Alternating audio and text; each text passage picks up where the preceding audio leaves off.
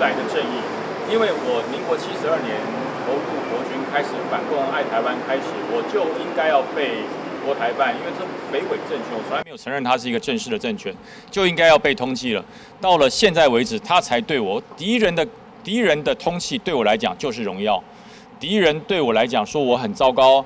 我很顽劣不堪，就表示我爱台湾，我反共有成，所以这一份荣耀应该不是我一个人独享，应该是这这么多年来持续在台海上捍卫台湾安全、持续反共的所有国军弟兄，应该来共同来同享，因为反共是一条荣耀的路，反共是一条不能够回头的路，爱台湾更不分你我，所以不止我爱台湾，所有国军的弟兄都一样保卫这块土地。爱这块土地，所以荣耀不是我一个人独享，应该归由所有捍卫台湾的国军弟兄。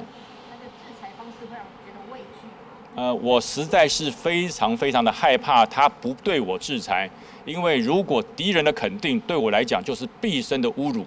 所以我不去中国，不是今天为止，我没有台胞证，我也不会去中国台这个港澳哈，包含港澳我不会去。为什么？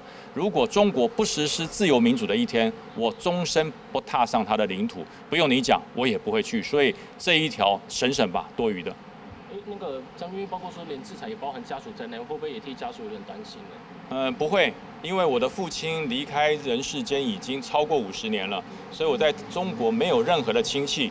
呃，我所有的亲属都已经深刻痛觉共产主义对于中国的迫害。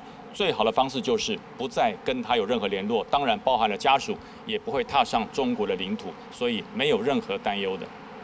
好，那个再讲一次，弟兄有没有悟到？